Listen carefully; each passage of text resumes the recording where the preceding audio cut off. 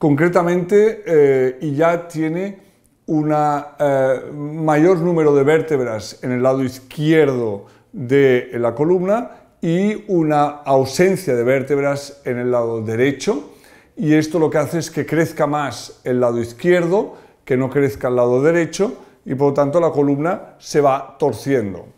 La excepcionalidad del caso eh, se debe básicamente a la gravedad de la escoliosis con más de 110 grados, se debe a la edad del paciente eh, menor de dos años.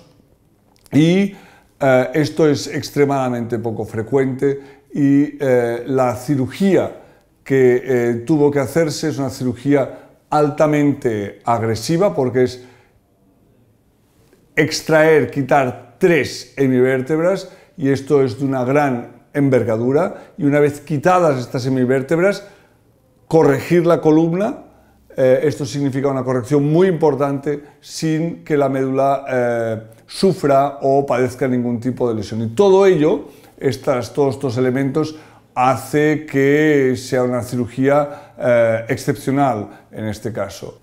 Los objetivos de corrección obtenidos han superado lo que esperábamos, hemos tenido una corrección de algo más del 50% la deformidad, lo cual es muy importante, y ya tiene ahora una deformidad residual de unos 50 grados, que es eh, mucho más manejable de lo que era una de 110 grados. La escoliosis que padece IAD, dejada a su evolución espontánea, eh, sin duda alguna, eh, reduce eh, sustancialmente las expectativas de vida y la funcionalidad de, nuestro paciente.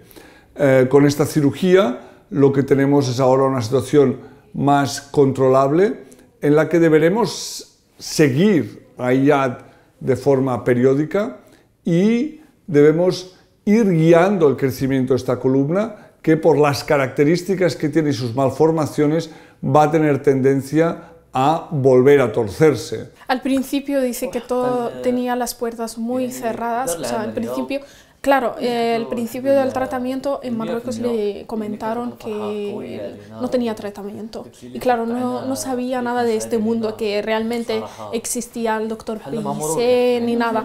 Pero claro, ahora está viendo que realmente hay resultado. Y sí, y lo importante es que han, visto, un éxito 100% que ha salido muy bien y genial y están dando las gracias.